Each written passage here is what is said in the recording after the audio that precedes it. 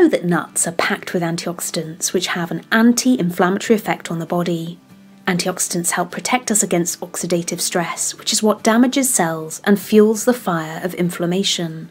However, according to a new study, there's one nut that stands out from the rest when it comes to inflammation. Before I reveal the answer, pause the video here and put your guess in the comments. If you said walnuts, you're correct. We think this is because they are highest in ALA, an omega 3 fatty acid that has potent anti inflammatory effects. They're also a rich source of anti inflammatory vitamins and antioxidants, including vitamin E and other phytonutrients like flavonoids, phenolic acids, and tannins. This study found that eating walnuts daily reduced concentrations of several inflammatory biomarkers.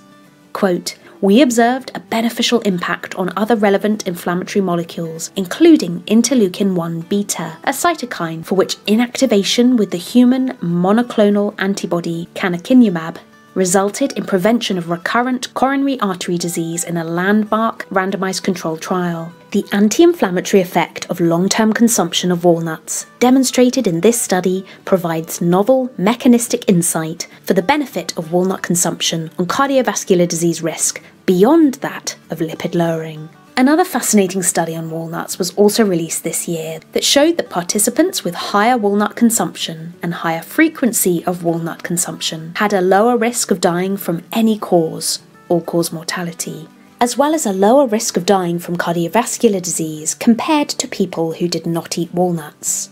Researchers found five or more servings of walnuts per week, one serving being one ounce, had the greatest benefit for mortality risk and life expectancy. Eating five or more servings per week was associated with a 14% lower risk of death from any cause, 25% lower risk of dying from cardiovascular diseases, and a gain in about 1.3 years of life expectancy compared to those who didn't consume walnuts.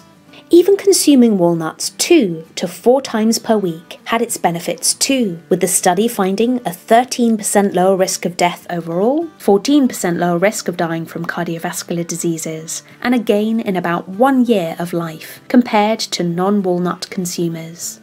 This study was a prospective observational study, so these results don't necessarily prove cause and effect. It's also important to note that both studies were funded by the California Walnut Commission. However, it's been reported that the studies were conducted independently by researchers who design the experiments, interpret the results, and present evidence based conclusions.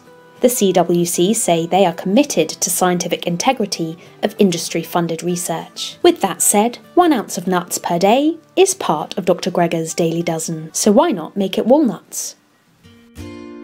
Thank you so much for watching. If you liked the video, please give it a thumbs up, leave a comment below and subscribe for more upcoming videos.